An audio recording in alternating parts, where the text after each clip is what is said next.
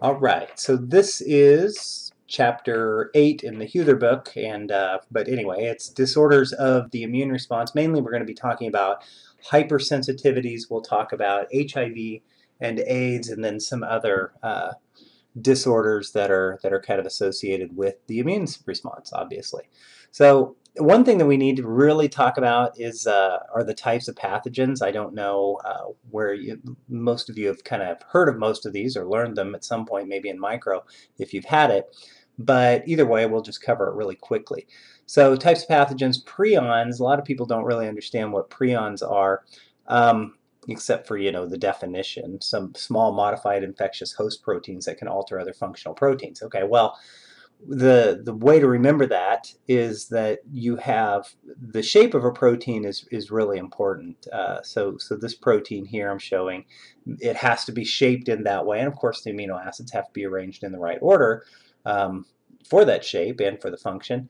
But but there are other proteins, and I kind of drew this one shaped like a barrel here. There are other proteins that actually help to fold the proteins as they're being made. Okay, so they come through and then this little barrel that I have drawn here will help to fold this protein the way it's supposed to be so that it's functional. Okay, What a prion is, is it's a modified version of this. They're called chaperone proteins and so that's a, that's a good example of what might uh, be prion damage. And um, so instead of this working the way it's supposed to and folding this protein the way it's supposed to, maybe it's not functional and this protein is, is kind of messed up when it comes out and therefore that new protein won't work. So you can see where it would be really hard to come up with a treatment when it's actually a rogue protein or a malformed protein that is folding the proteins wrong or or causing proteins to be folded wrong that are already folded. Um, so that can take place as well. Um, but anyway, so so that's what that's what a prion is, and and you know they they tend to manifest in the brain at first. Um, there are certain proteins that are that are mutated, and they're usually chaperone proteins. But uh, you can see, I mean, you can't use antibiotics on it, you can't use antivirals on it, because you would literally have to find that protein and kill that protein. So it's a very difficult thing to treat. Um, so that's what that's what a, uh, a prion is. Some people call it prion. Uh, I've heard it called prion, and uh, I watched the guy who won the Nobel Prize for it talk about it, and I think that's the way he pronounced it. So that works for me. All right. So viruses. Viruses are just a, uh, a simple protein coat. So you have a bunch of proteins that kind of form a sphere in some cases. They come in all shapes. But, and then if within that, I don't know why I made that so small, but within that you have like some single-stranded DNA or RNA, something, some very simple nucleic acid uh, chain that does basic functions for to keep that virus alive. Now the virus can't make its own ATP, it doesn't make enzymes for that kind of stuff. It has to rely on a host cell. So it can't really survive on its own, it can't survive on its own at all. It has to have a uh, it has to have a host to do its bidding, to do its work for it. Um, bacteria is another is another thing. I was going to say that's also why viruses are are kind of hard to kill as as well. They're they're really really simple. Bacteria are a little more complex. They're still single-celled organisms, but um, and they don't, which means they don't have any organelles. They don't really have a nucleus. The the DNA just kind of exists inside this thing uh, but they can live independently. They release exotoxins, which means that the bacteria itself releases a, a substance that is toxic, okay, in, in the case of a uh, pathology, or it may release endotoxins, and an endotoxin is really just part of the bacterial cell wall. Um, so when that bacteria falls apart, those little pieces of the cell wall are released, and that can be toxic as well. Um, there are also things called mycoplasms, rickettsia, chlamydia. Those are those are some uh, bacteria that are uh, a little bit different. They have a different type of cell wall. They might might have um, mycolic acid or something like that. That is um, that makes them resistant to antibiotics. I think that's supposed to say antibiotics. So so that's another kind of subgroup of, uh, of bacteria. Fungi are more complicated. Most require a cooler temperature than human body core temperature, so they usually live on the surface of the body. Um, uh, candidiasis in the mouth uh, can be caused by like yeast, yeast infections. Those those are kind of counted among the fungi. Uh, parasites, uh, malaria, um, amoebic dysentery, giardiasis, giardiasis, and then helminths, which are roundworms, tapeworms, flukes, um, just ticks, mosquitoes, mites, lice, fleas. So these are these are multi, a lot of times multicellular organisms that are uh, a little bit larger. Okay, um, that that live. I mean, like the helminths and the arthropods, yeah, but I mean, but they but they live and uh, they they kind of feed off of their host. Okay, so how does infection take place? Well, direct contact with the pathogen could be one way. Ingestion could be a way. And a lot of these are, a lot of these pathogens have sort of evolved to survive stomach acid or even relish stomach, stomach acid is the case with like uh, stomach ulcers. Inhalation is another way. That's a real quick access to, to blood supply and uh, contact with uh, a zoonosis, zoonosis, where we get the word zoo, but it's zoo. Uh, animal pathogens that can be transmitted to humans. There aren't very many animal pathogens that can be transmitted to humans, but there are some like, uh, oh, what is it, bird flu, stuff like that. So context, contact with a nosocomial infection. So a nosocomial, don't know if that's a new word for you, but nosocomial means that it is acquired in the hospital Um, which is a pretty nasty place uh, when it comes right down to it because that's where sick people go, and so that's where a lot of uh, antibiotic uh, um, resistant strains of, of certain bacteria and pathogens can, can show up. Uh, contact with a fomite, so a fomite is another fancy word for just an object that can, uh, can hold on to pathogens. So usually, you know, you'll see a lot of stainless steel and smooth surfaces in a hospital because a lot of times those, uh, if you don't have that, something can uh, harbor like a bacteria. Bacteria can kind of live in it, or even fungi can live in it and, and then be passed on. Uh, the example that it gave was a stethoscope. okay, so stages, stages of infection. So incubation stage, prodromal, acute, convalescent, and resolution. So we're kind of working our way through our our actual infection. So so the infection happens, and then there's a period of time where there is no there are no symptoms and that's when the if we use an example of a virus the virus is replicating it's moving into cells it's dividing and the immune system hasn't quite gotten control of it yet and as it tends to do, as it does more and more damage and there's more and more cell death, the immune system will notice it. And that's when it kind of moves toward the prodromal stage, which are early signs and symptoms like fever. So fever is a sign that it's a uh, systemic infection. And so that means that the immune system is releasing pyrogens or the immune cells. And um, and so you're starting to feel something. So fever and fatigue, and I have this quote here, I, I, feel like I may be coming down with something. So you just start feeling not as good as you did. And then there's the acute stage, which is your maximum manifestation, signs and symptoms, and tissue damage and inflammation, all of that stuff is kind of at full force. So that's the acute stage. And then you start to get better. Okay, so the convalescent, you're containing, your immune system is containing the infection or it may be a treatment. You're eliminating the, the pathogen and you're trying to repair the damage. So that's convalescence. And then resolution, that's total elimination and there are no residual manifestations. That means you're over it. That's, um, that's resolution. Okay, some terms for infections. Itis means inflammation. Um, that's just what it means. It may or may not be due to an infection. I mean, you can get tendonitis from, you know, playing playing sports or something like that. So it may or may not be due to an infection, but it, it could go either way. Emia, now I'm going to circle this right here. Emia with an E means that it takes place in the blood. So septicemia would be sepsis that is taking place in the blood. Okay, and so I have that as an example here. And you're going to see this ending emia, the suffix emia, a lot. And anytime you see that with that e there, uh, emia, then that means that it's associated with the blood. So remember that. So virulence factors uh, make an infection more likely to cause disease. I already mentioned um, I already mentioned exotoxins and endotoxins. Remember, bacteria could release a toxin out into the uh, out into the fluid, and then that can that can trigger a uh, an immune response or uh, or septicemia. Uh, endotoxins. Endotoxins are part of the bacteria, so the bacteria is made up of a bunch of lipopolysaccharides, things like that. When that bacteria breaks down, those kind of move out too, and those can also uh, get the attention of your immune system.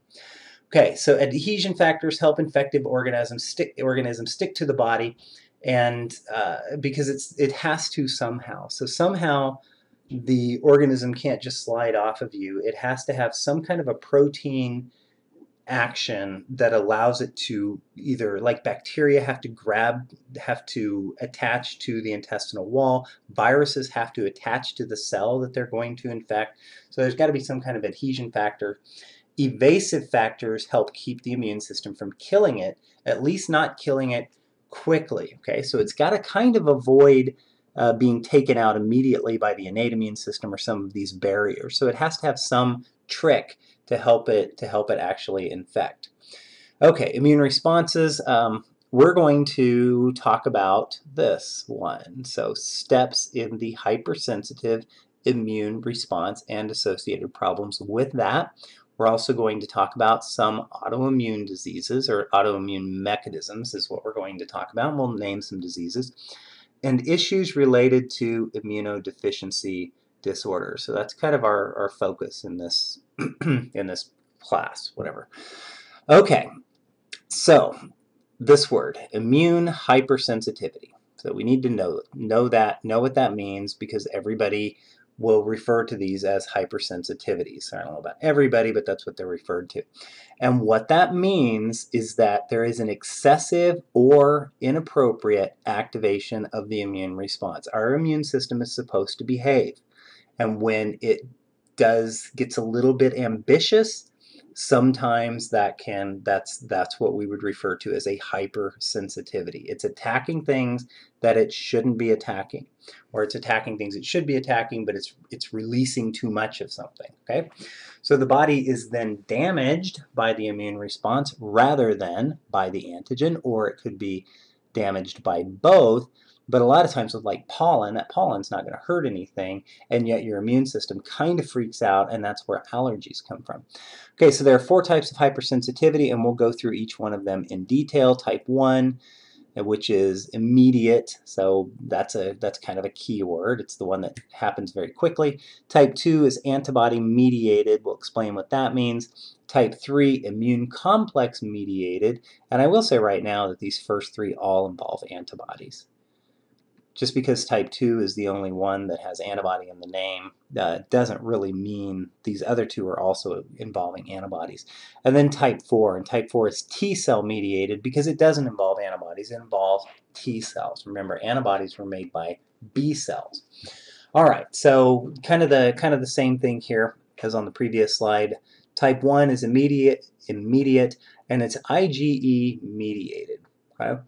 Um, and that's, we've talked about this a couple of times, but it's where IgE is put into mast cells. And then those can, when they're activated, like with some pollen or something like that that binds to it, then that can cause it to degranulate and release things like histamine and other inflammatory uh, cytokines and signals um, to, to, cause, to cause an immune response. Okay, so cross-linking of the antigen. So the antigen in this example would be some proteins associated with pollen leads to release of mast cell mediators. So we'll go through these in more detail. So I'll just try to read through these quickly. Type 2 antibody mediated. This is where this is where the plasma cells are actually producing antibodies that attack something in your body, something necessary. Okay, so that's a pretty direct attack by your antibodies, and that's why it's called antibody mediated. So they're tissue specific. It's actually, it has identified some protein in the patient's body that it doesn't want there anymore, okay, uh, for whatever reason. So it leads to complement mediated phagocytosis, so complement could get involved, inflammatory uh, signals, and cell injury, physiological responses without cell injury, but somehow it's doing something somewhere and it's and it's mediated by these by antibodies specific to it. Type 3 is less specific. Okay? Uh, still involves antibodies, but in this case the antibodies are attacking something in the bloodstream. Okay, so there's your bloodstream and there's something that antibodies have identified as not wanting to have around anymore. Okay, um, I don't know. I'm not doing a very good job of drawing these, but but that's that's the general general idea. Is is they're all attacking it and they form this complex, and then this complex will kind of it's it's almost like you know it just gets heavier and heavier and heavier, and then eventually it just sort of falls to the side, and um, and then can cause the inflammatory signals to build up over here. Okay, and then and then type 4 are T cells. So similar to type 2, which is antibody mediated, type 4 involve T cells, and the T cells are what are specifically attacking something and then causing a uh, type of immune response. All right, so again, I told you we are going to go through these in more detail. So here we go with type 1. It's immediate commonly called allergic reaction. So on an exam, when you're trying to figure out, okay, is this type 1, type 2, type 3, type 4, if it's immediate, that's one thing to remember. I mean, if it's happening right away, then it's probably going to be a type 1. So that's usually a clue. Um, it's mediated by immunoglobulin E. Now remember, B cells are what, and uh, I'll, I have, I'll have B cells here, but then I'm going to erase it because the B cells actually turn into something called plasma cells. Plasma cells are what make antibodies, okay? And they produce these antibodies and they just sort of send them out. Now, most of the time, the most abundant one is IgG, but they also can make IgE. Now IgE have this special quality, and it's really the mast cells that have this quality, where they have little binding sites, little landing sites for IgE antibodies. And so these IgE antibodies, even though they were made by plasma cells, will find themselves inside kind of on the on the cell surface of mast cells. And it's a uh, it's an immune response because let's let's use pollen as an example because at some point along the way you inhaled pollen. Okay, whatever it happens to be you're allergic to. It could be a food allergy as well. So you you somehow got this in your system and it and it caused an immune response and the ultimate production of plasma cells that are producing these antibodies. Well, as the plasma cells produce these antibodies, the IgE forms will go and and embed themselves into mast cells. And then when the pollen shows up, again, this is supposed to be cross-linked there, uh, when the pollen shows up again, then it will cause these to these mast cells to degranulate. And they release inflammatory mediators, cytokines, histamine is a big one. So they're going to release this histamine and then cause um, a number of symptoms like uh, hives, urticaria, hives, um, rhinitis, which is hay fever, dermatitis, so that's that's uh, itchiness or or like a like kind of a raised rash usually. Uh, bronchial allergic asthma, so it could cause your smooth muscle to tighten up in your bronchi and cut off your air supply. And then food allergies, which which can show you know a number of these symptoms as well. So it may, may result in systemic or even anaphylactic, okay, which is which is a uh, heightened sort of um, system-wide reaction. Okay. Um, so the mechanism. So I already kind of went over the mechanism of type 1. um, upon initial exposure, there's no allergic re response. And then it goes through, and I'll refer you back to covering the immune system, it goes through that entire process where um, T helper cells are exposed to it, usually through a macrophage or some kind of antigen presenting. They cause B cells to produce IgE. The B cells are also producing IgG, but they produce IgE antibody, and that IgE antibody coats these, um, wherever they are, coats these mast cells. Okay, so this step here. So coats the mast cells. And so that what so the first time you're exposed, you really don't have a reaction, but then the subsequent times that you were exposed, this is all ready to go. And as soon as those allergens come in, they bind and they cause an immediate or very quick release of um, of of the uh, like the histamine and the other the other things in these granules of the mast cells. So primary early response, vasodilation, vas vascular damage, smooth muscle spasm, uh, and then it kind of moves on. Well, we have a list of, of what it what it can do. So so when the subsequent allergen binds, it uh, it leads to the release of these mediators. So examples of local, and then I've already mentioned these: rhinitis, food allergies, bronchial asthma, hives, atopic dermatitis. Allergens.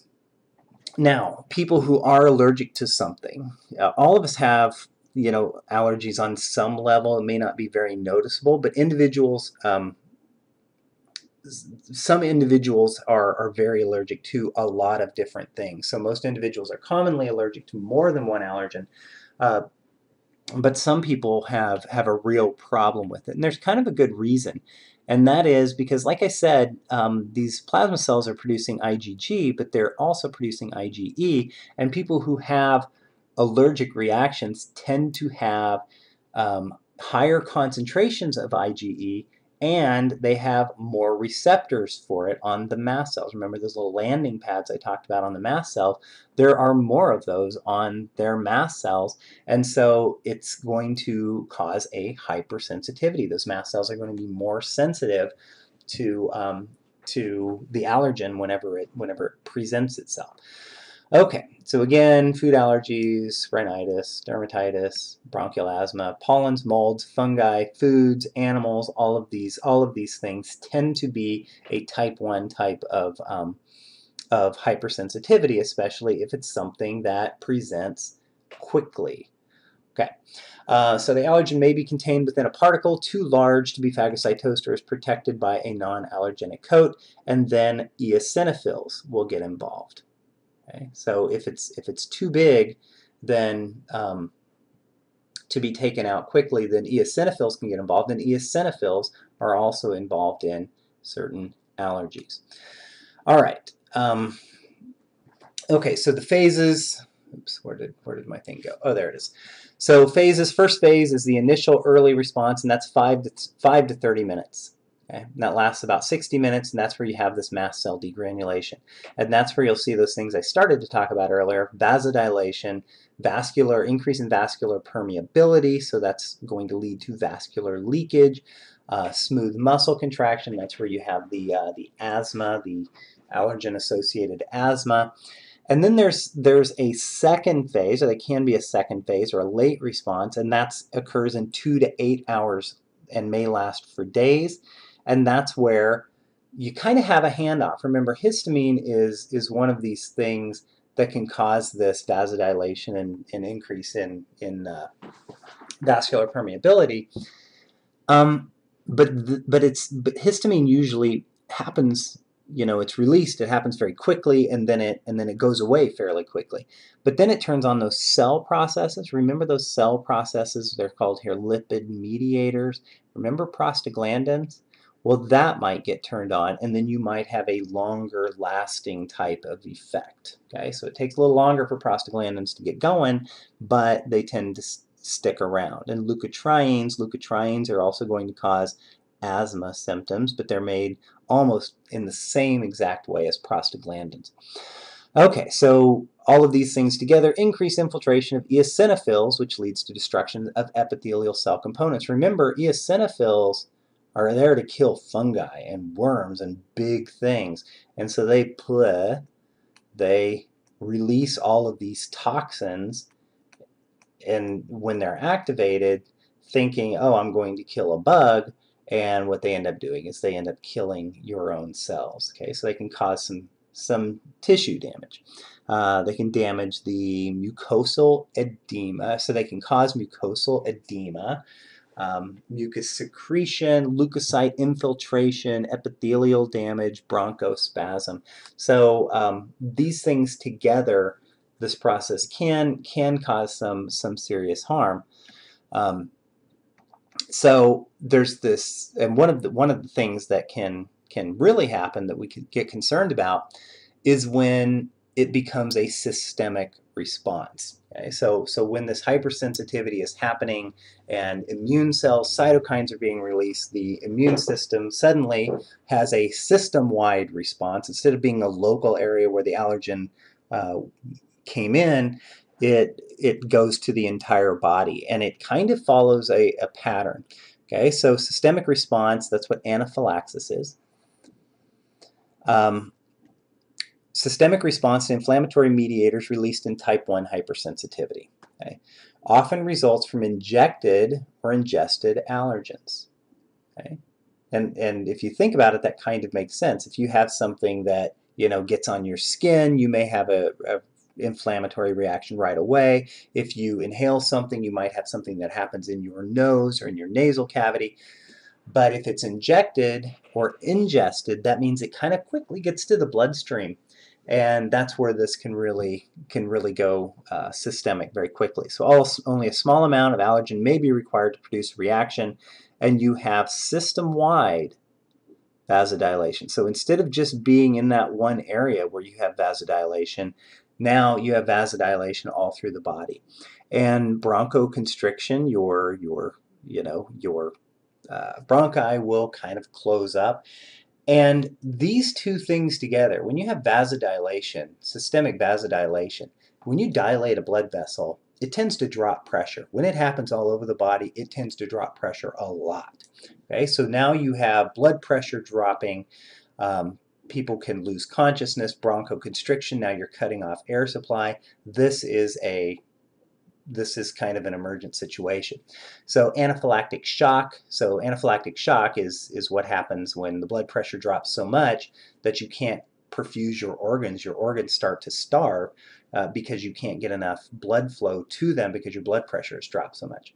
Okay, so that's vasodilation and loss of fluid as exudate can lead to a rapid decrease in blood volume and pressure. Okay, because all the all the fluid is moving out of the bloodstream and, and into uh, into the extracellular fluid or into the interstitial fluid. Okay, so overview: body is exposed to an external substance, antigen, pollen, or whatever, pet dander. The immune system interprets the antigen as a foreign invader, which it is. It just kind of overreacts. In allergic in individuals, the immune system then makes an unusual response that harms the body. And that's where we talk about al allergies and hypersensitivity. So sensitization occurs, plasma cells produce an antibody to the antigen IgE that binds to mast cells, and then when it happens again, then these mast cells will release their, their mediators uh, very, very quickly. Okay, And histamine is the, is the best example of, a, uh, of one of those mediators, although there are others. Okay, so it is the effects of mediators on organs and cells that cause these symptoms of allergic reactions.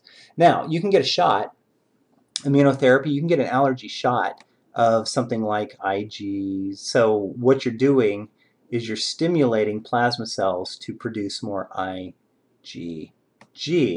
And if they produce more IgG, Okay, so remember, this is just your immune system being activated. So if you get a shot of whatever this, this substance is, the pollen or whatever, um, then it's going to stimulate your immune system to produce this IgG, and then the IgG will be out there kind of taking out this allergen before it can be affect before it can affect the mast cells. Okay, does that kind of make sense? If you since the mast cells are kind of sitting there with those little antibodies on them, the IgG, sort of waiting for the pollen, then the way it, the way I picture it is then if you have enough, if you have more of this IgG in your blood, then what happens is this will come down, swoop down, take that, and take them out. Okay, And so those are those are uh, allergens that can no longer bind to mast cells. So it reduces the symptoms. So antibodies against the allergen will form IgG, and net exposure to this antigen leads to less severe allergic reactions with smaller manifestations, and that's because the IgGs are attacking the allergen, uh, which then doesn't allow it to bind as much to the IgE on the mast cells. Okay, so so remember I said that the first three, 1 through 3, all involve antibodies, and we saw how it involved antibodies in type 1 with the IgG and the IgE. Type 2 is called antibody-mediated because it actually attacks antigens on cell surface, okay?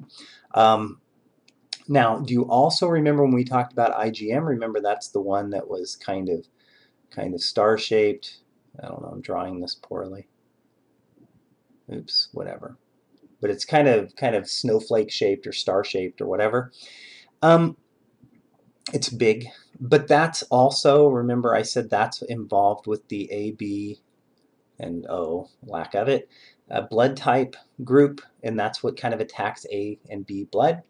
Well, um, so that's that's kind of that's going to fall into the type 2 hypersensitivity. So keep that in mind. Often involves antigens on red or white blood cells. Transfusion reactions. So when somebody uh, gets a blood transfusion or you know an organ donation that involves also blood. RH disease, except RH is going to involve IgG, not IgM. And then drug reactions. Drug the uh, the antibodies can uh, the drugs can actually change cell surfaces and so the your antibodies will recognize something it didn't used to. Okay, or, or it didn't previously. All right, so mechanism of type 2. Tissue specific. Understand what this means. Tissue specific. That means that there is a particular cell or a particular protein on a cell that the immune system recognizes. Um, an example is um, like we can, there's a disease where you can cause, have, make antibodies against a certain collagen protein. Okay, collagen is everywhere in the body, but there are certain collagen proteins that exist only in um, only in the lungs and the kidneys. So now for whatever reason, your immune system is producing antibodies against those specific tissues. It's the kidneys and the lungs, specifically the glomerulus. Okay, It's called Goodpasture syndrome. It's on the next slide. So tissue-specific reaction leads to complement mediated phagocytosis, so that could be a method. I mean, because you put an antibody on there, and you tag it for complement. Um, inflammation, cell injury, or a physiological response that doesn't necessarily include cell injury. But either way, um, this is this is kind of the same thing, and it's listed on the next slide too. But antibodies on red blood cells, so we mentioned that. Complement mediated, we mentioned that. Graves' disease. Now, Graves' disease is a little bit different. So let's kind of take a moment, moment, and think about this what happens is you have something called thyroid stimulating hormone receptors, so TSH receptors, that are on your thyroid cells of the thyroid gland. So there's a TSH, thyroid stimulating, hormone receptor, and you or the patient will suddenly start producing antibodies that bind with those thyroid stimulating hormone receptors and activate them. And that's really weird because usually when an antibody binds to something, it deactivates it. But in this case, it's actually activating these receptors, causing you to produce more thyroid hormone. So you, you're producing your it's hyperthyroidism. You're producing way too much thyroid hormone and and it's caused by a type 2 hypersensitivity. It's tissue specific because it's only doing it to these uh, thyroid stimulating hormone receptors. Okay, so Graves' disease antibody stimulates the thyroid.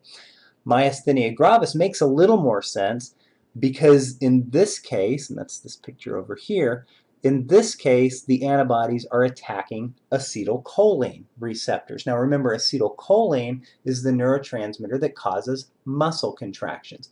So if you have certain antibodies that are coming down and taking out some of your acetylcholine receptors, then that's going to be sort of um, perceived as weakness when you when you go to contract your muscles and you have fewer of these acetylcholine receptors then then you might not have um, some of those muscle cells may not contract the way that you expect them to okay but again it's tissue specific that's going to happen wherever there are acetylcholine receptors so we think of, of muscle okay as, as being one of the one of the main places where it shows up all right, so complement antibody-mediated cell destruction, inflammation, cell dysfunction. We already mentioned that. Uh, IgG or IgM. So remember that, that those are the uh, immunoglobulins that are affected.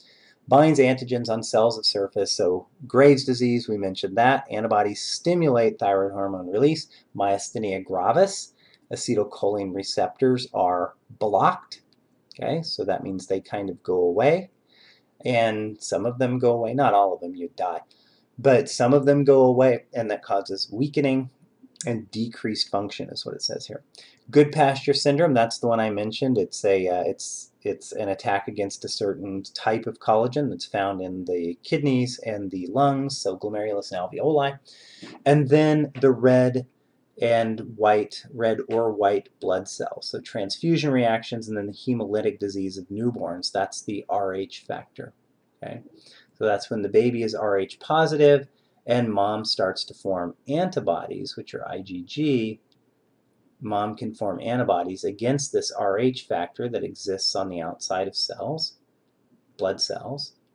It's different than AB it's uh, Rh, and mom could make antibodies. If mom is Rh negative, she will not like to see this, this Rh factor. She'll see that new protein as foreign, and she will make antibodies against it. And since IgG, kind of an important point here, since IgG can cross the placenta, IgG can cross the placenta, that means if mom's making antibodies, they're going to get to the fetus, and they can just they can attack the fetus's blood.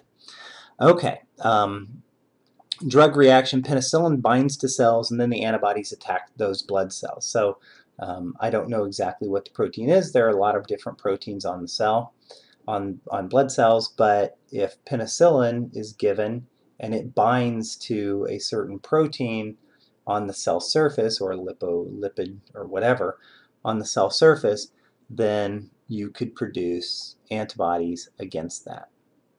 Okay.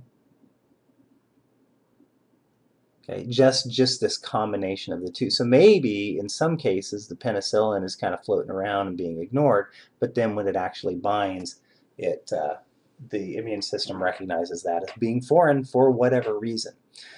All right, so um, again, a reminder, the IgM, so these are IgM, see how large they are, are unable to cross the placenta, so that means if mom is type A and the fetus is type B, doesn't matter, because even if mom wants to make antibodies against the, whatever I said the baby's blood type was, then it wouldn't matter because it wouldn't be able to cross over into, because remember, they don't share blood. Baby has its blood its uh, circulatory system mom has hers. It's just some of these products you know like well oxygen sugar smaller things can move across. So she gives her she gives nutrients provides nutrients but these antibodies are too big. Uh, but remember because Rh factor is attacked by IgG and it's smaller she can attack a baby the fetus if it's Rh, if it has that Rh, if it's Rh positive. Okay, so that was type 2. Now we're going to move on to type 3. Type 3 is a little, a little different. Um, if you understand it, though, everything kind of clicks and makes sense. So we were calling type 2 antibody-mediated because those antibodies attacked a specific protein or a specific cell or tissue. Type 3 yeah, the antibody's still going to have some specificity, The problem is, or the issue is, that it's it's attacking something that's floating around in the blood. Okay, so so here it is in the blood, and it's attacking something that's floating around in here. Okay. Now, whatever whatever that is, in the case of lupus, they've they've identified it as like rogue DNA or something like that. But but either way, I'm not sure what I've just done here. But either way, you have antibodies that are attacking these things, and when they do, they tend to form clumps. That's what I mentioned earlier. They tend to form clumps, and that's what we kind of see here is we see the antibodies individually out there, and then the antigen, whatever that happens to be, when the antibodies attack it, it groups it up, forms this clump, and this clump falls out of solution and will attach to the vessel wall, the blood vessel wall. Think about that. We can't call it tissue specific because, yeah, it, it, it formed on the blood vessel wall, but not because it was attacking the blood vessel. It was attacking something that was floating around. It just fell out of solution, and now that it's in this area, it's going to launch a full-on immune, at least inflammatory response in that area. Okay. So where is it happening? Wherever it happened to fall out of solution. Now, a lot of times it happens in the kidneys, it may happen in the lungs, it may happen in the spleen. Um, so there are lots of the liver, that's a big one. So it could happen just about anywhere, but, and so you can't really say that it's tissue specific, which it's not. Okay, so let's read through this. Free-floating antigen plus an antibody uh, creates a circulating immune complex, and then that circu circulating immune complex sort of gets, in my head, this is the way it works, it gets sort of too big and weighted down and it falls out and attaches to the cell wall. So complex deposits on walls of blood vessels, or sorry, the vessel wall. So deposits on the wall of blood vessels and activates complement, among other things. It's going to activate an entire inflammatory response. Um, leads to recruitment, which is what, what this says. Okay, So leads to recruitment and activation of inflammatory cells that release tissue damaging products. Blood vessels are damaged and wherever that happens to be. If it's in the glomerulus of the kidney, then you're going to have symptoms of kidney failure, kidney disease. Um, okay, so antigen antibody complexes are formed in the circulation and are later deposited in vessel walls or extravascular tissues.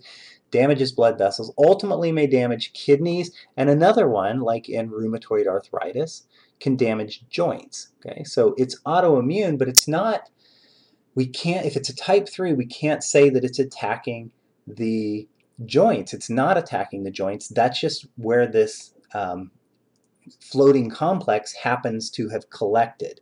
And so it does damage the joints. It's just not doing it on purpose. It has nothing against the joints. That's just where the complex fell out of solution. Okay, so it's not organ specific because it isn't really attacking a specific cell type. Causes, uh, most common, um, antibiotics. So antibiotics can kind of get out there, and if your immune system, as the as the antibiotics are floating through your uh, bloodstream, then then the antibodies can attack those and cause this type 3 hypersensitivity.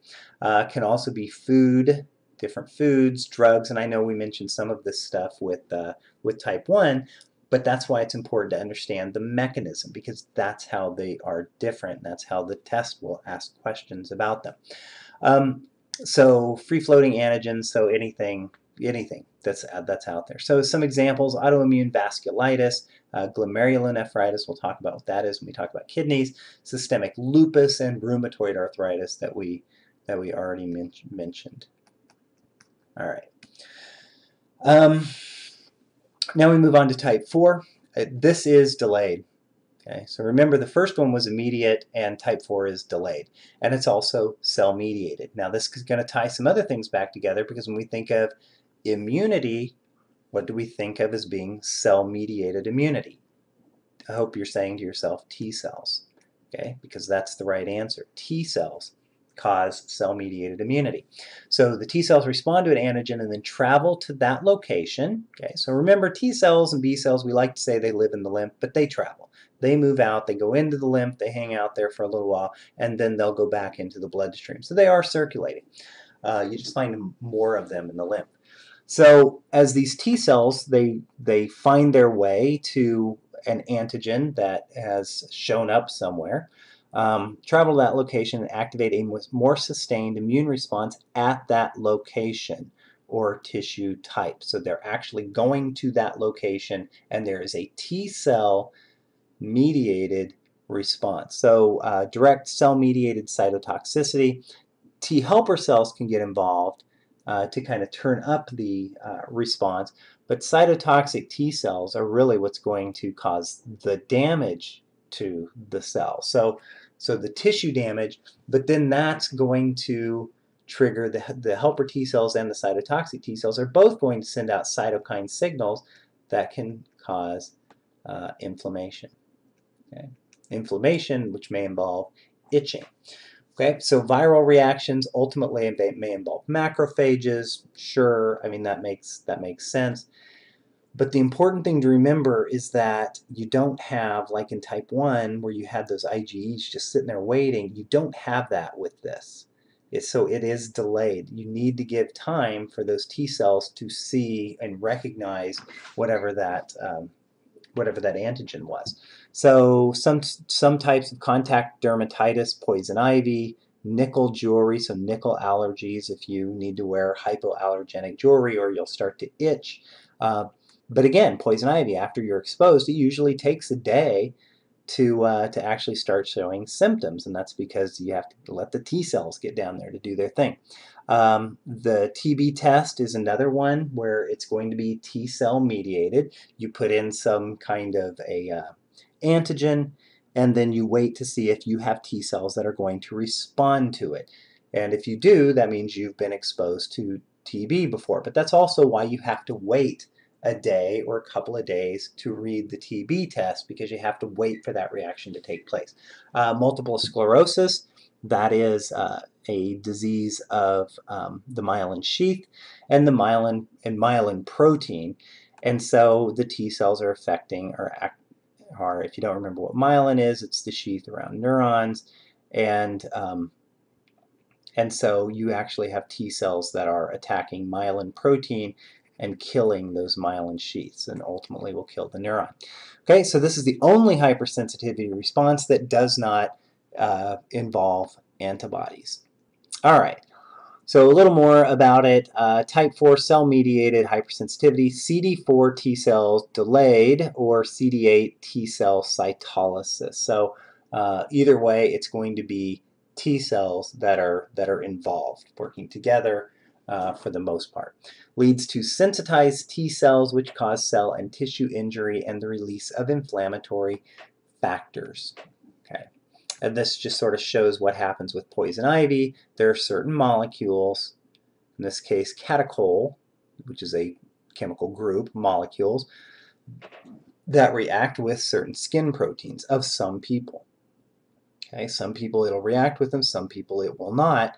But if it does react to them and the immune system recognizes it, so uh, maybe that's the difference, is in some people the immune system recognizes some people it doesn't. But either way, it's these molecules combining with skin proteins that suddenly make this a target, and a target specifically for T cells. Okay. So uh, one to two days, the memory T cells, many active cells, and that's when you start showing signs of inflammation. These T, um, these T cells are going to send out inflammatory signals. Okay. Um, right. Okay. So an overview, I'm actually not going to read through this, uh, but I suggest you spend time looking at it because it kind of breaks down everything that, that we just said. I noticed here that I have insulin-dependent diabetes mellitus or type 1 diabetes as listed as a, as a type 4.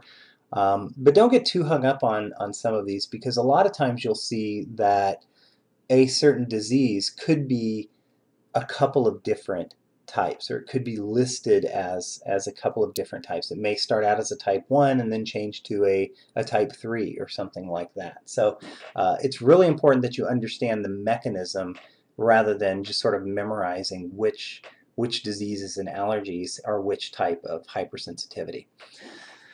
Okay, now, so we'll talk about, so we're going to move on to solid organ graft rejection. Remember the, remember MHC, major histocompatibility complex protein?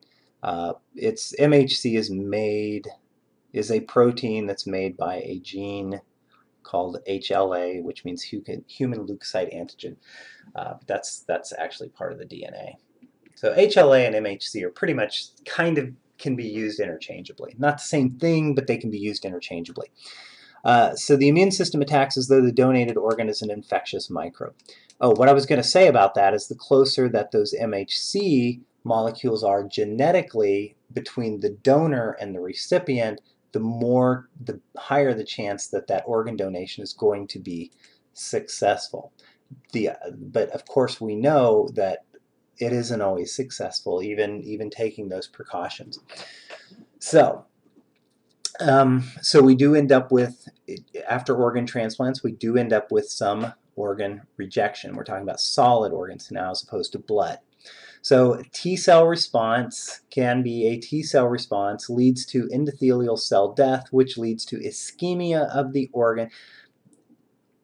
Pay attention to this. Endothelial cell death, that means blood vessels. Okay.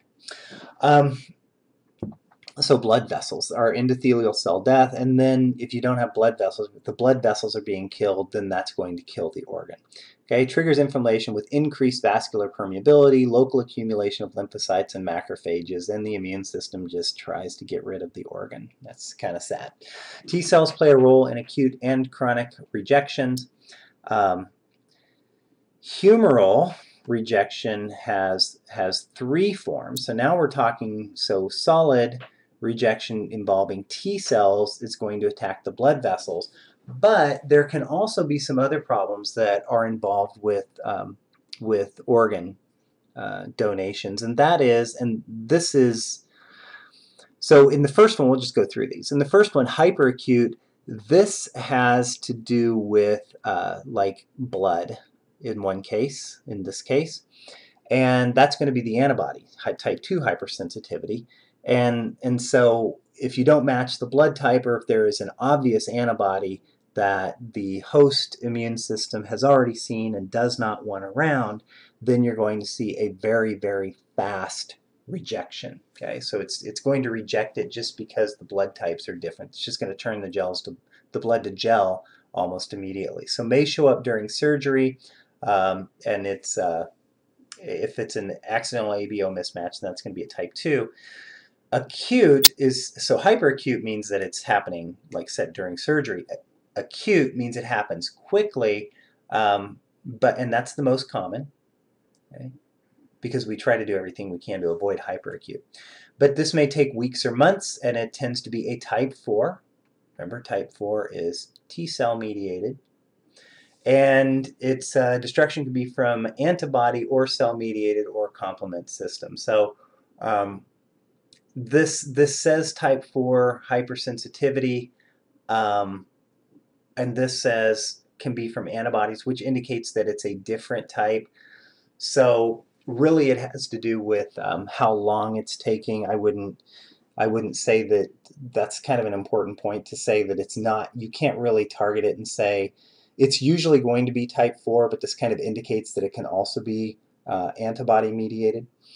Um, so destruction can be from antibody or cell-mediated or complement system. It could be that the organ is damaged and that's going to release other antigens and then the um, the antibodies can be raised against those. So maybe it starts out as a type 4 and then can turn into a type 2 and that happens frequently with a lot of different diseases. Okay, so destruction can be from antibody or cell-mediated or the complement system or inflammation, but the target is usually the blood vessels. Okay, so remember that. Uh, type 4 T cell mediated T cells move to the location and release signals to trigger other immune responses. So basically it works the way a type 4 does in the case that, it's, uh, that it starts out as a type 4 hypersensitivity. Okay, but the most important thing is to remember the blood vessels are involved and you ultimately have ischemia and inflammatory responses that follow. All right, so chronic rejection. Chronic rejection, we really don't know what's happening here, but it's slow and progressive, may take months to years. The organ could just start wearing down much more quickly. So there is some rejection that's taking place, but it's not as urgent. It's not telling you you need to get rid of it within, you know, a few days, that which may happen with acute. Uh, so organ atrophy over time, and there really is no treatment for, uh, for chronic. Now, what if someone has um, leukemia or something like that, and they aren't able to, um, they don't have a healthy immune system. They've been through radiation, it's killed a lot of their white blood cells. And so you have someone donate bone marrow to them so they can start producing healthy white blood cells again. Okay? So something has happened that caused somebody to not be able to produce white blood cells. They need a transfusion or they need a donor to donate bone marrow to them. So, because that's where the, the leukocytes and blood cells are made. Now, in the case of graft versus host disease, that means that whoever is donating the bone marrow, this is supposed to be a bone, even though it's usually from like the pelvis, whoever is donating that bone marrow has such a healthy immune system or non-compatible immune system that when that bone marrow enters the host, I don't know why I drew the host as a square, but when that bone marrow enters the host, it will start attacking the host. Okay? So we call the donated bone marrow, we call that a graft. Okay? And the host is the host. So the name of this is very accurate. It is graft versus host disease. So that means that the occurs mainly in bone marrow and transplants and immunocompromised patients who receive blood products with uh, like their MHCs don't match the way they were supposed to, something that is incompatible with the bone marrow of the host versus the recipient to the point that the donor's T cells will attack the host. Okay, so will actually attack the um, the uh, the MHC. Okay uh, the major histocompatibility complex proteins if they don't if they don't match. So that's graft versus host. I just I make a big deal about that because I don't know it's easy to to slip and think that the host is attacking whatever was donated, but really it's whatever was donated, aka bone marrow, is attacking the host. So it presents often as a pruritic or itchy skin rash that sloughs off, and this is how you know. This is what you watch for. If somebody has a bone marrow transplant and they start to have these symptoms, then it usually means that the donor's bone marrow is attacking, or the leukocytes are attacking the host. All right, so you must have the following for graft versus host disease to develop. A transplant has to have functional cellular immune component, bone marrow. Okay, the recipient tissue has foreign antigens to the donor, so they're not compatible. And the recipient immunity is compromised, so it can't fight back. It can't destroy those, those uh, transplanted cells. Okay, so it usually involves T cells and also natural killer cells. All right, so this is um, some a kind of a breakdown of what we just talked about, hyperacute, acute, chronic, chronic. Whoa, I'm not sure what happened here.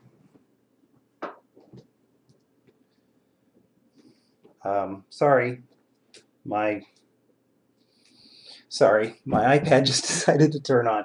Okay, uh, so I'm going to let you, you look this over on your own and, um, uh, and because we already just kind of covered that. Okay, so autoimmune diseases, normally self-reactive. So this is where uh, we've already mentioned a couple of autoimmune diseases. So um, we'll just kind of go through this very quickly. Normally, self-reactive immune cells are destroyed or suppressed. That's called self-tolerance. So what I'm what I'm getting at here is self-tolerance means that your immune system won't attack yourself. Okay, that's the idea of it. I know that's common sense. We've already kind of covered that, but but this is this is the term.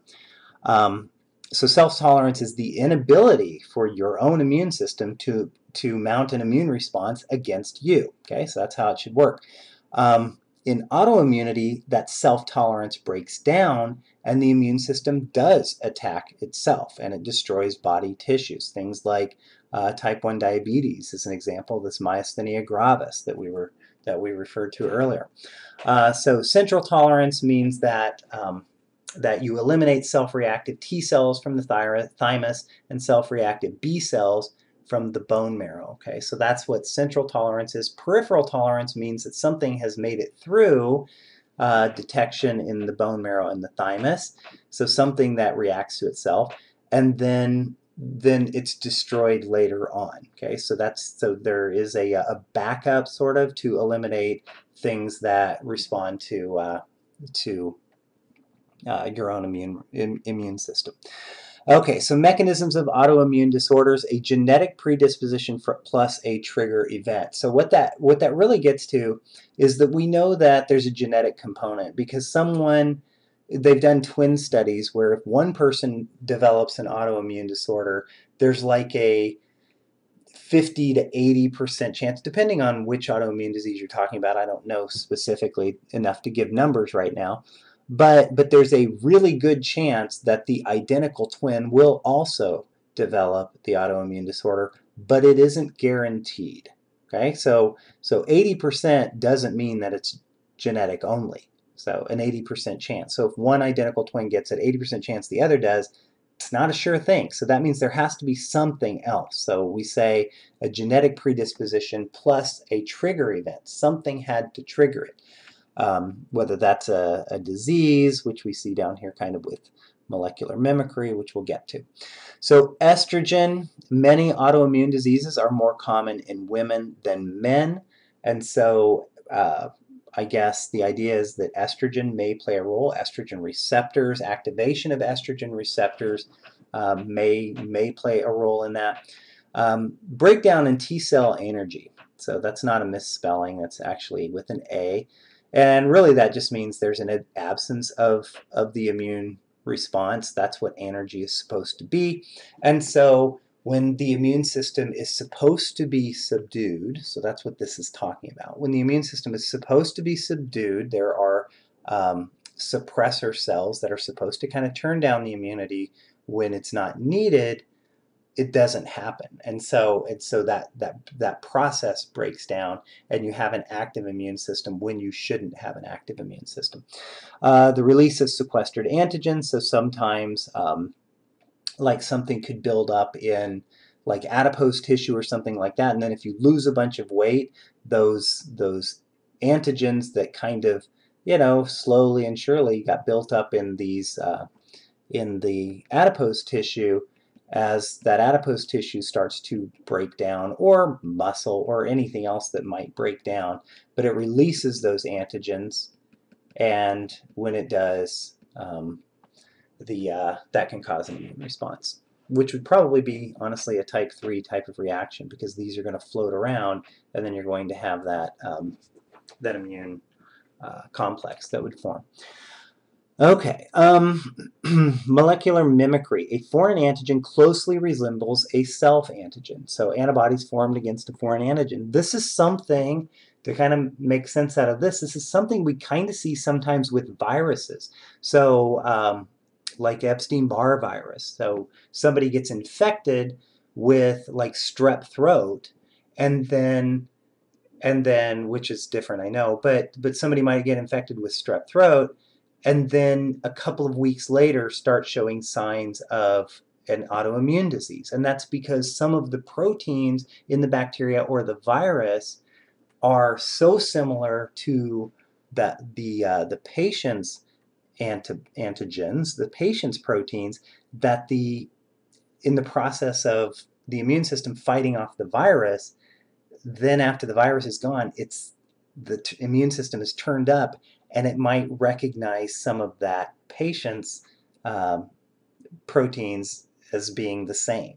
Okay, does that does that kind of make sense? It's uh, it's just kind of uh, it's confused. I mean, that's kind of the way to look at it. It it was trying really hard to fight off this virus, but then you have a protein or the patient has a protein that looks very similar to some of the viral proteins and so the immune system just attacks those too.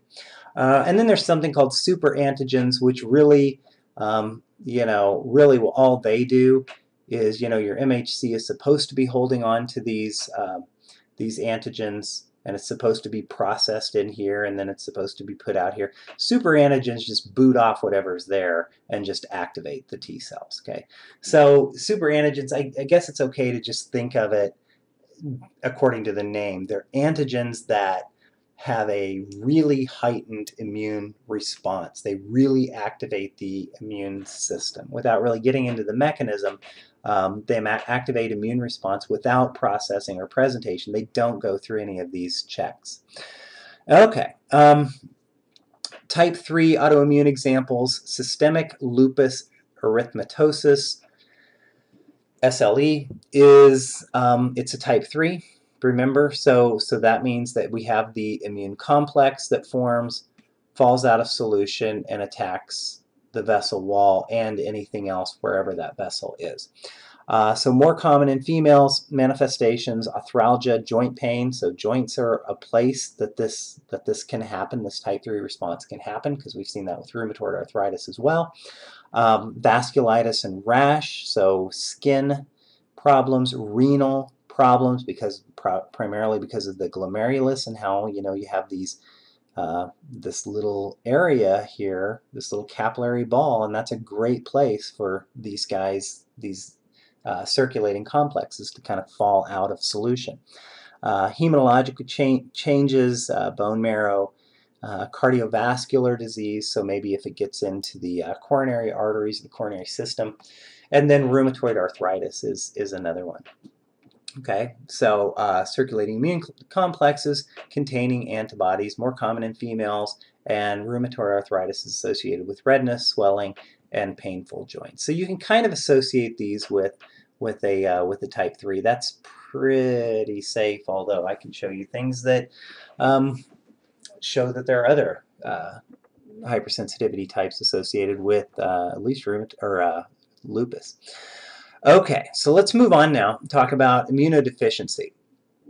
Immunodeficiency just means that the immune system isn't doing what it was supposed to do. So we just got done talking about hypersensitivities. Now we're talking about deficiency. So there are a couple of different categories, I guess. There's primary, which um, which means that it just sort of happens. It's genetic, and uh, and that could be, you know, humoral, which would be involved with B cells, could be T cells that aren't working right. So there's some kind of a genetic mutation that's causing your B cells and or T cells to not function the way that it's supposed supposed to. There's a disease called severe combined immunodeficiency um, and uh.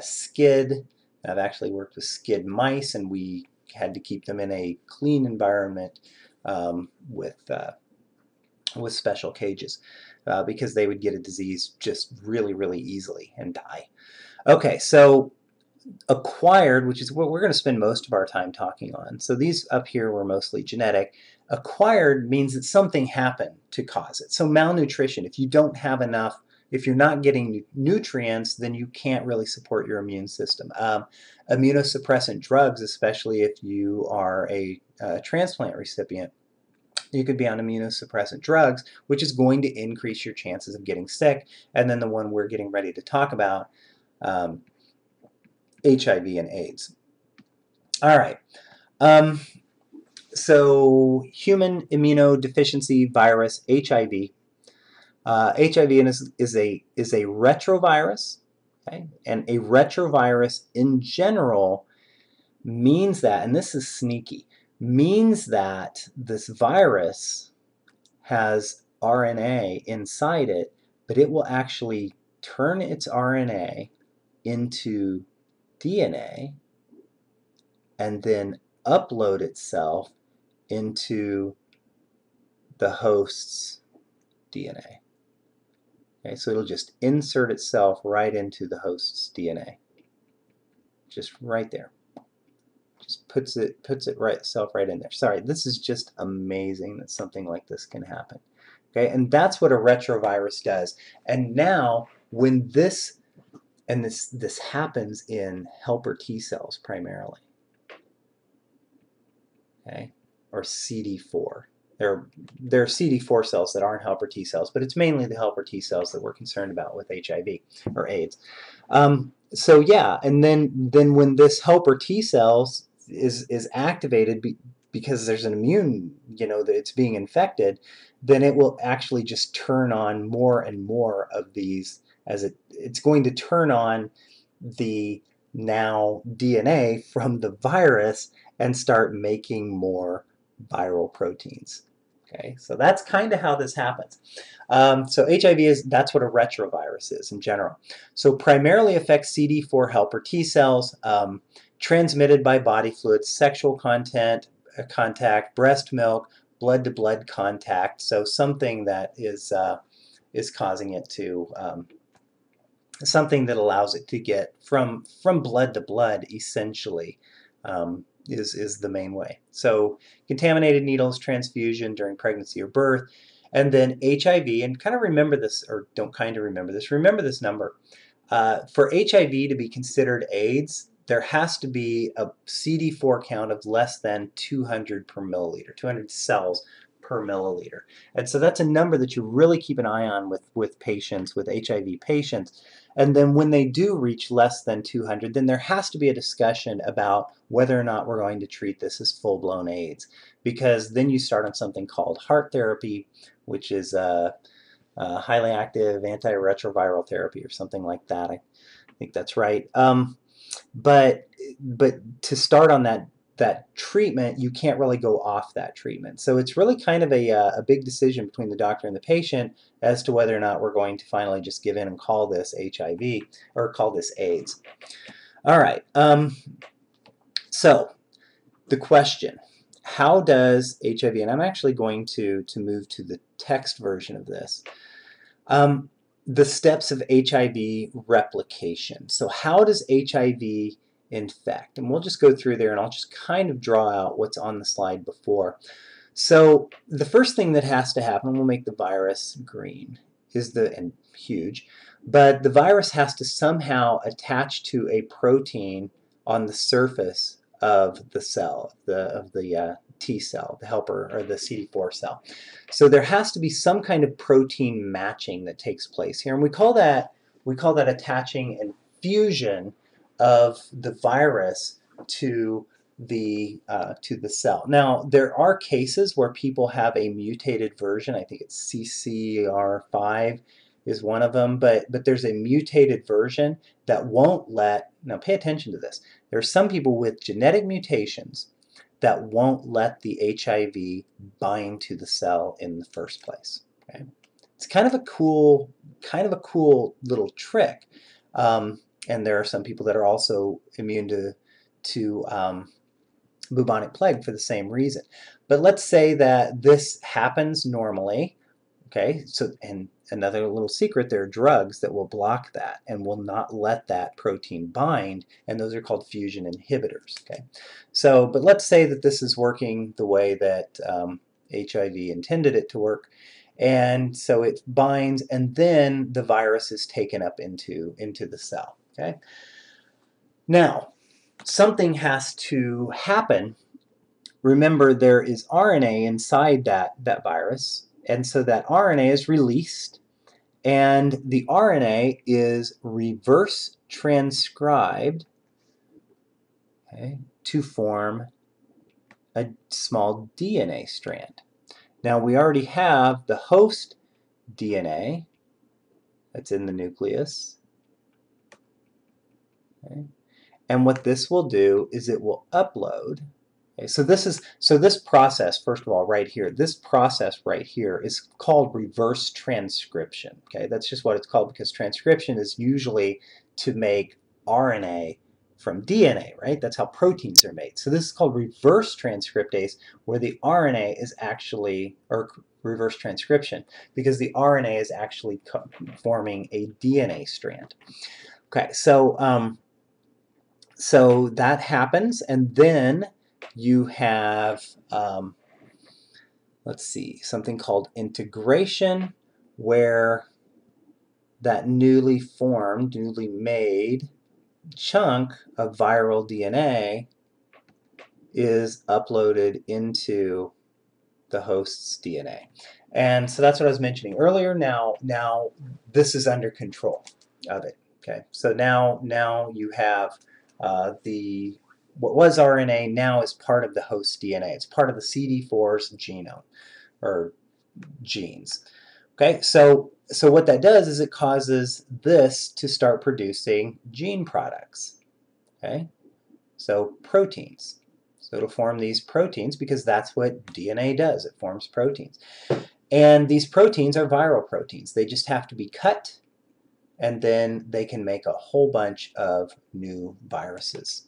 Okay, so those proteins will all come together to produce a brand new virus. Okay, so that's what that's the way it all works.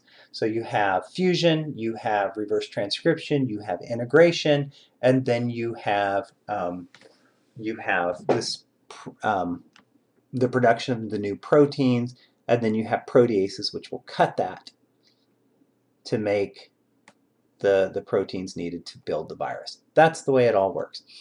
All along the way, so, so the way to really know if you understand this is you say, well, let's see, what if I block the fusion? Okay, that's one way that drugs work. What if I block reverse transcription? I'll block this enzyme called reverse transcriptase, and then we won't be, it'll never make the, the DNA. That's another way drugs work. What if we block integration? We never let the DNA that was made into the host DNA. Okay, so there are uh, integrase uh, inhibitors. So, so they block integration. And then we say, okay, all that stuff happened. The virus got in, it made DNA, it uploaded the DNA. Well, let's stop it from being able to cut these proteins here. Okay, so there's there's uh, pro, there are proteases that cleave those proteins to make that. Let's say we stop that from happening, okay? So protease inhibitors, and that's what protease inhibitors do. They don't let this part happen. So all along the way, all these steps that I'm naming, all of these are important because this is how drugs work um, on it. So you really need to know this process so it's easier to understand how drugs work later on. All right. Um, okay, and this is showing all of those steps as well. This this slide will. All right, so clinical course, uh, primary infection phase, that's where you are, the patient is infected, um, and they will show signs right away. It's just like any other infection. You've, you, you'll launch an immune response. You've, the uh, immune system detects the presence of the virus. It's a systemic type of response, and um, and you'll notice it. Okay, so that's going to be a manifestation. So fever, uh, maybe diarrhea, fatigue, uh, those kinds of those kinds of uh, signs. Seroconversion is actually that's where you, it starts. Um, it uh, starts making antibodies. That's what seroconversion means. It's a fancy word, but it just means that whereas there were no antibodies before, now it has seen the virus and it's producing antibodies against it. Okay, so um, they appear, and that usually takes the primary infection. One to six months to to get through that part of it, and then you have um, the latency phase. And the latency phase is where so you you're producing antibodies. So that means if the virus moves out of the cell, out of the T cell, it's going to be attacked by those antibodies. Okay, okay. So that's that's going to kind of keep the virus the detectable virus in the blood very low. And that's what this graph down here is showing. So it's showing the, uh, the blue is the viral load. And you can see that when you're first infected, that viral load, a lot of viruses, they're all over the place because you're not fighting it off. And then as you start making antibodies, it starts getting rid of those viruses. And then it drops them down to a really low level. Okay? And it holds it there for 8 to 10 years. And during that 8 to 10 years, the person is contagious and they can pass it on. They aren't showing any symptoms, but they have it. Okay, so when we call that the latency phase, so the viral load is low, the CD4 count has bounced back a little bit because because the immune system is really trying to control it, but they're still hiding in those CD4 cells. So they're still causing more damage than can be repaired over time, and so then after a long time, um, then you start to see the overt AIDS, or what we a lot of people just call full-blown AIDS. So you actually get the AIDS diagnosis. Your CD count, cell count is less than 200 cells per milliliter, and that defines uh, AIDS itself. So does that? I hope that makes sense. Primary infection, you you show symptoms. Latency phase, no symptoms, but your CD4 count is continuing to drop. Uh, your viral load is pretty low at that point. And then you have overt AIDS and everything flips. The viral load skyrockets and you're it's just um, and that's that's why it's uh, uh, fatal. Okay, uh, so manifestations of uncontrolled HIV, fevers, um, especially in the evening, night sweats, diarrhea, fatigue, weight loss, lymphadenopathy, so swollen lymph lymph nodes. Um, AIDS-associated illnesses. So this is this is your uh, infection Okay, so when the infection with HIV takes place and your body is fighting it off, it's a pretty typical flu-like kind of a situation, activation of systemic uh, response.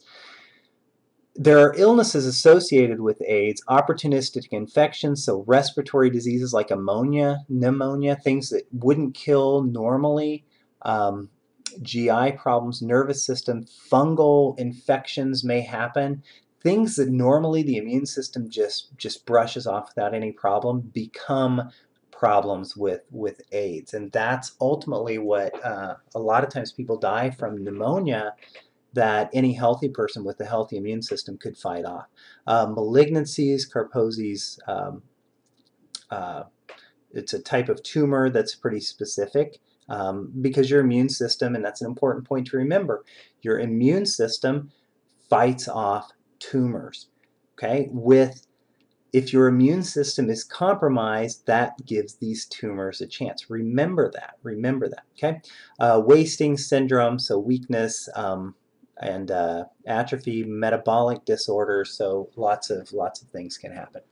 All right, so um, most treatments are a combination of drugs. So drug treatment therapies. Most available drugs block reverse transcriptase. So this is the original um, approach is to block that reverse transcriptase, which means uh, the turning the RNA into DNA process. Uh, but now we have drugs that block, you know, the fusion inhibitors doesn't let it in, uh, protease inhibitors, every step of the way where there are drugs, and it's quite a regimen of drugs to take. Some of them, some of them you have to take several times a day, um, and so yeah, it's really compliance is a is a big problem. Okay, um, so reverse transcriptase entry or fusion inhibitors may reduce, reduce further progression by preventing entry into cells. The really the goal is to improve the quality of life, uh, increase the CD4 count, reduce the viral load, and then reduce HIV-associated morbidity and mortality. And this was such a long video, and I'm so, so sorry, but it's done.